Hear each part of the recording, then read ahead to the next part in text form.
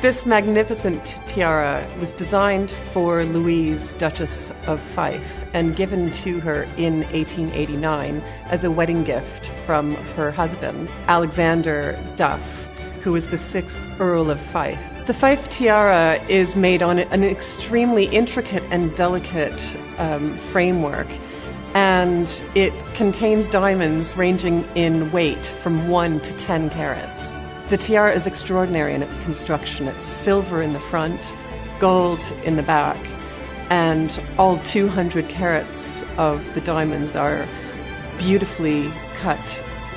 They would have caught the light when Louise, Duchess of Fife, wore it, which would have been extremely beautiful.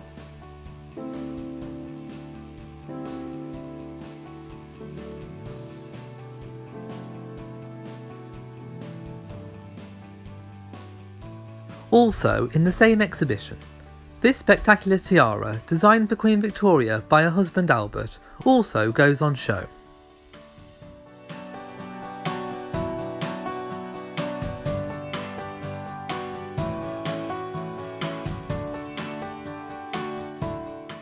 If you have enjoyed this video, then please give it a big old thumbs up. Thank you for watching this video. If you have enjoyed it then please leave a like, comment and share on social media. Don't forget to subscribe for all the latest channel uploads. From me in Shropshire, goodbye.